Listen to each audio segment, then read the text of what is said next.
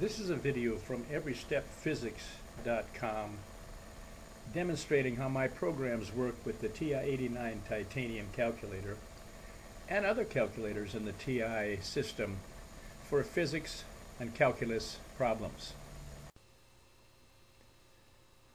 We're going to find a mass on an inclined plane, which is another mass hanging by a rope and a pulley and the inclined plane has an has an angle and it also has a coefficient of static friction. We're going to find the weight of that mass to keep the system from moving. That means acceleration is zero. So let's get started. In my program you have to press second alpha to enter the P, H, Y, S, I, C, S letters. Then press alpha and put the open and close parentheses. Press enter and you're into my menu. Uh, the problem will ask you for for things, and whatever it asks you, you go to my menu for that. In other words, now the problem would have said find a certain mass or something. Well, then you automatically go to mass in my programs. Scroll down, all alphabetical, and you scroll down to mass. Click on that, and we're into the program.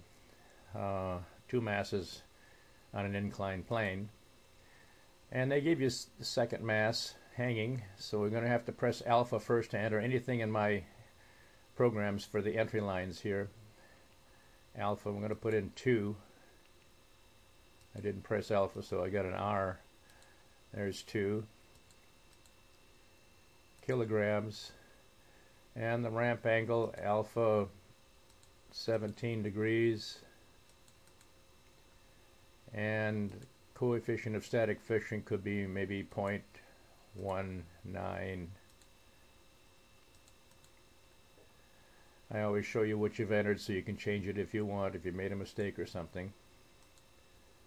And here's the main formula. Notice acceleration is equal to zero if you're trying to find masses that don't allow the system to move anything or move at all. And here's the actual formula for M1 which is the on the ramp mass. You write this stuff on your paper and you put in the just write everything down that you see here. These exactly entering all the variables in here exactly correct. And here's your answer for kilograms.